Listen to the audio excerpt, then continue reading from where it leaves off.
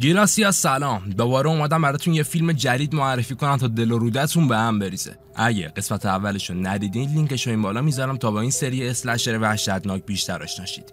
از الان بگم این ویدیو تمام فیلم هزار پای انسانی دو رو براتون spoil می‌کنه. پس اگه می‌خواید ببینیدش اینجا برید بیرون و فوش ندید. اینم بگم به خاطر قانون کپی رایت یوتیوب مجبوریم یکم تصویر رو دستکاری کنیم ولی اگه می‌خواید فیلم کامل رو ببینید توی کانال تلگراممون هست. خب بریم سراغ خلاصه قسمت دوم هزار پای انسانی. فیلم با نمایش قسمت قبلی این فیلم شروع میشه و متوجه میشیم یه نگهبان فروشگاه که خیلی قیافه یوبسی هم داره در حال تماشای این فیلمه که نگاهش به دوربین پارکینگ میفته و دعوای زوج رو تماشا می‌کنه.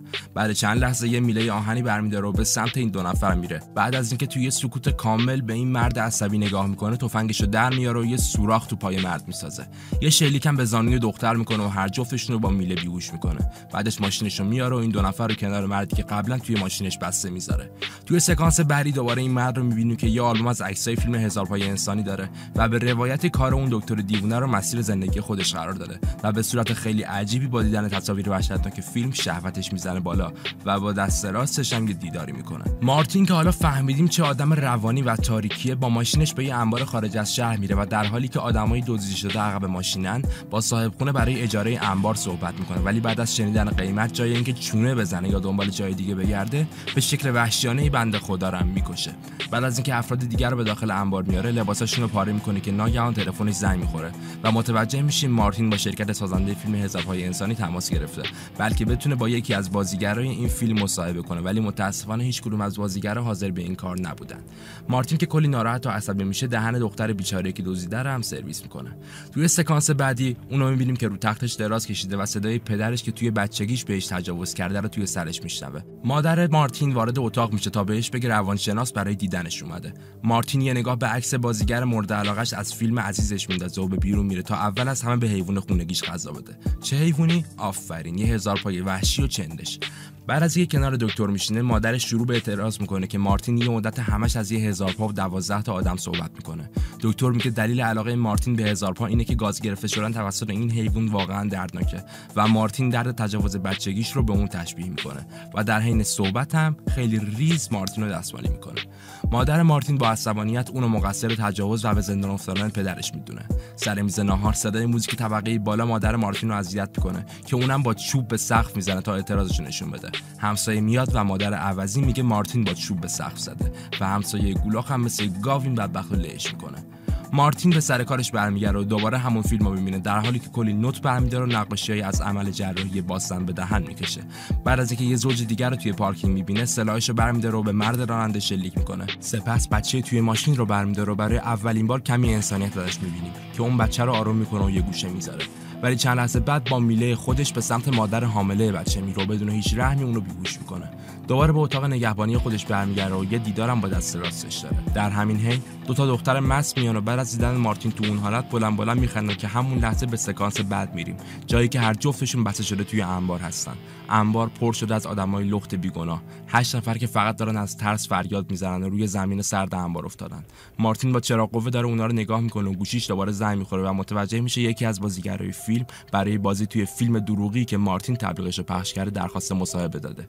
مارتین خوشحال انبار رو ترک می‌کنه در حالی که یکی از زندانیا با وحشت برای بقیه قصد مارتین از ساخت یه هزار پای انسانی رو مثل اون فیلم معروف توضیح میده. توی سکانس بعدی دوباره اتاق خواب مارتین رو می‌بینیم. مادرش با چاقو میاد بالا سرش و قصد کشتنش رو داره ولی لحظه آخر پشیمون میشه و دست خودش رو با خشونت می‌بره. همون لحظه کتاب طرحهای وحشتناک مارتین رو می‌بینه و بعد از پاره کردنش با عصبانیت بیرون میره. مارتین که حالا کلی تحقیر شده و ناراحته با گریه به سمت آکواریوم هزار پای خودش میره و اونو بغل می‌کنه. مادرش به کنارش میاد و ناگهان مارتین با نفرت تمام سر مادرش کنار هزار پا نگه میداره. هزار پا صورت مادرش گاز می‌گیره و مارتین به صورت وحشیانه با میله سر مادرش رو روی زمین خورد می‌کنه.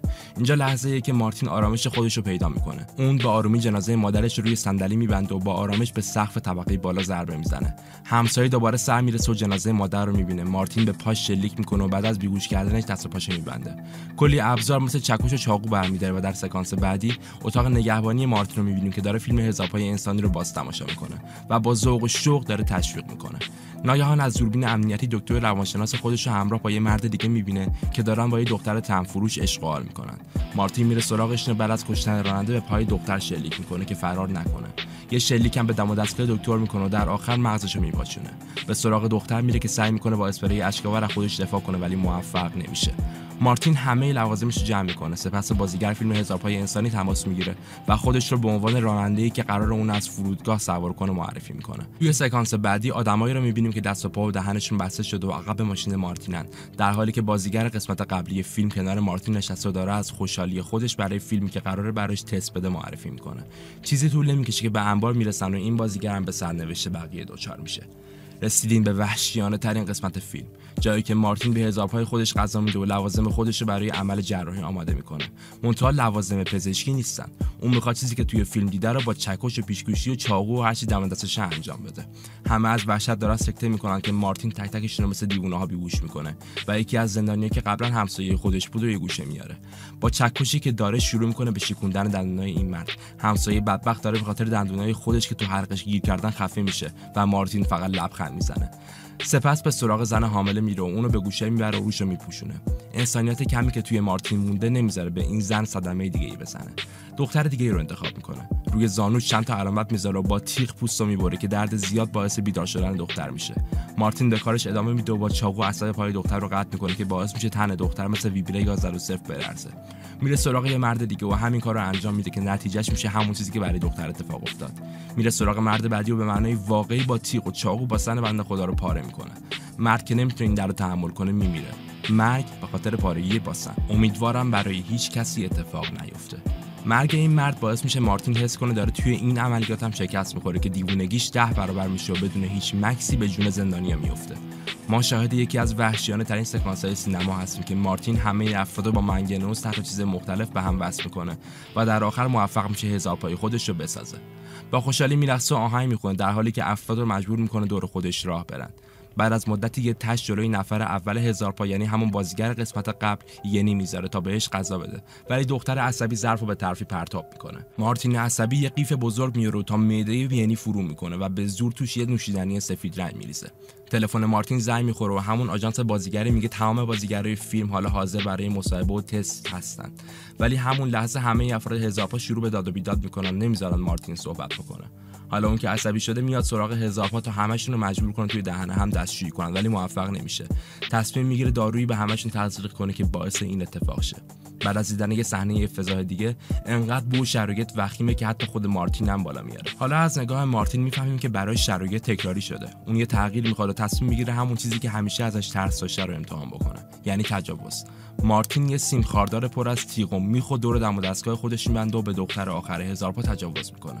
دوباره یه صحنه افتضاح داریم و بعد از تمام شدنش زن حامله به هوش میاد و از فرصت برای فرار استفاده می‌کنه. زن توی ماشین میشینه و در قفل می‌کنه. مارتین سعی می‌کنه جلوشو بگیره ولی موفق نمیشه. همون لحظه زن بیچاره لحظه زایمانش می‌رسه و با سختی بچه خودش رو توی ماشین به دنیا میاره. فکر اتفاق خوبی توی فیلم افتاد. همون لحظه زن ماشین رو موفق میشه روشن کنه و با شدت پدال گاز و فشار میده که باعث میشه بچه تازه متولد شده زیر پدال خفیشه و جونش رو از دست بده. داخل انبار همسایه مارتین موفق میشه خودش رو از نفر جلوی جدا کنه و هزارها به دو قسمت تقسیم میشه. وقتی مارتین به داخل برمیگرده خیلی از این اتفاق عصبی میشه و اسلحه خودش رو برمیداره و دونه دونه تعدادی از اونها رو می‌کشه. حالا که تیرش تموم شده شروع کنه به بریدن گردن بقیه. وقتی به بازیگر می‌رسه یعنی با مشت به توپ پای مارتین می‌زنه و بعد از افتادنش همون قیف بلند رو برمیداره و به پشت مارتین فرو می‌کنه و هزار پای اون رو می‌کنه توی باسنش. هیچ وقت فکر نمی‌کردم جمله ای رو به زبون بیارم. مارتین با درد بلند میشه و دختر رو می‌کشه و در حالی که شکم خودش رو گرفته به خارج از انبار میره. توی سکانس آخر دوباره مارتین رو می‌بینیم که داره با لذت فیلم هزار پای انسانی رو تماشا می‌کنه. ما هیچ وقت نمی‌فهمیم این اتفاق واقعا افتادن مارتین جون سالم به در برده یا همه چیز فقط توی ذهن اون بودن. چرا من این فیلم رو سه بار دیدم؟ اگر از دیدن این خلاصه فیلم لذت بردید ویدیو رو لایک کنید نظرتون برامون کامنت کنید. همچنین عضو کانال شید و زنگوله رو بزنید تا جدیدترین پستامون هر روز ببینید. مرسی که ما رو دنبال می‌کنید. روزتون خوش.